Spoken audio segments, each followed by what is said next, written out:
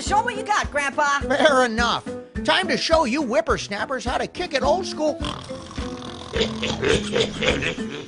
Ah, great. Look at him. He's just sawing logs there. Yeah, literally.